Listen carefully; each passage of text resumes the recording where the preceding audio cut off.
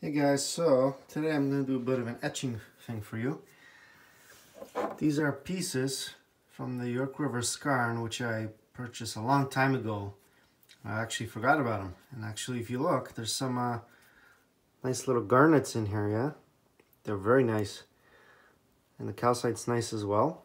But you know what? I want to get rid of the calcite. Same with this piece. Uh, sorry, there's little garnets in there too. You can kind of see them.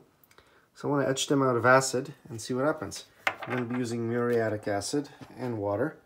So let's put these guys in first. In you go. Slow. Yeah. And then I'm just going to put the acid in here. Just not too much. Just enough to get it going.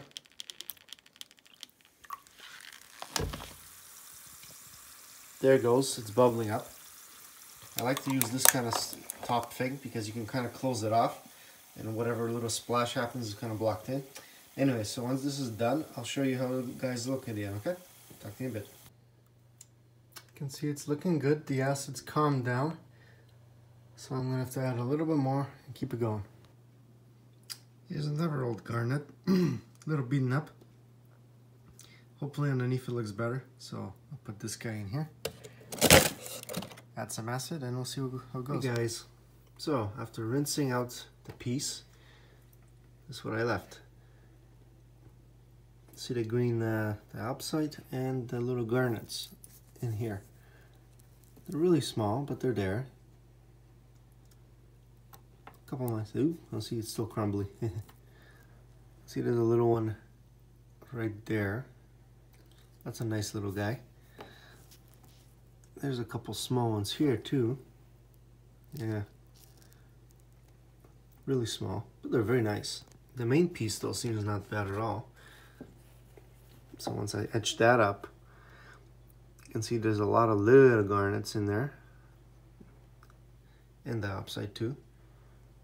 And there's a nice bigger garnet down here. Some more diopside as well. Well, this is actually a nice colorful piece. It's it's not super showy, but there's a lot of little ones in that, so I like that. Well, there you go, guys. Like, once I rinsed everything out, I just I just saturated the solution of baking soda, just neutralize the acid, and just give it a light rinse. Very light, because I don't want to scrub anything. And that's what it is. Thanks for watching.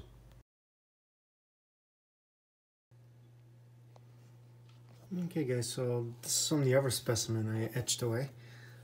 There's a not bad big garnet here. Yeah, it's not bad at all. It's decent size, yeah. That's pretty good. This guy here is a little smaller. But it's not a half bad garnet as well. Little thumbnail. A couple little guys here. This piece I found interesting. There's a little garnet in there, but there's something else in that cavity. You can see it reflecting right down here. Something elongated. Hmm, maybe it's Vesuvianite. We'll look into it. But anyway, that's pretty cool.